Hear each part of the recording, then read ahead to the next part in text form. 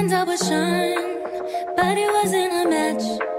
Wrote some songs about Ricky, now I listen and laugh. Even almost got married, and for Pete I'm so thankful. Wish I could say thank you to Malcolm, cause he was an angel. One taught me love, one taught me patience.